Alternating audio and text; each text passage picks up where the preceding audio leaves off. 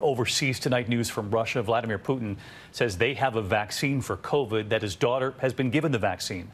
Of course, the immediate questions among them how safe is this vaccine? Here's our senior foreign correspondent, Ian Pannell, tonight. Tonight, Russia claiming a major victory with the world's first approved coronavirus vaccine.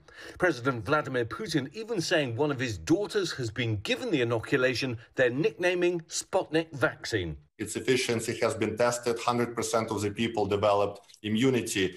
But many scientists in Russia and around the world say it simply hasn't been properly tested. Russia choosing to go ahead before completing that crucial final phase 3 trial that's used to show if a vaccine will work safely in a large population. They only lined up 2,000 people for that final step. Compare that to the tens of thousands now being tested with vaccines being developed by Moderna, Pfizer, and Oxford. Dr. Fauci shared his reaction with National Geographic.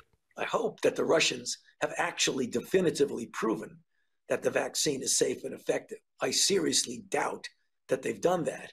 Dr. Fauci telling David he's optimistic there will be an effective vaccine around year's end. I believe there's quite a good chance that we will. And that should take probably by the end of this calendar year with vaccine available as we go into 2021. President Trump now announcing that the U.S. is buying 100 million doses of the Moderna vaccine, hoping, like others, that it's proven safe and effective. David? All right, Ian Pannell reporting from London tonight. Ian, thank you. Hi, everyone. George Stephanopoulos here. Thanks for checking out the ABC News YouTube channel. If you'd like to get more videos, show highlights, and watch live event coverage, click on the right over here to subscribe to our channel. And don't forget to download the ABC News app for breaking news alerts. Thanks for watching.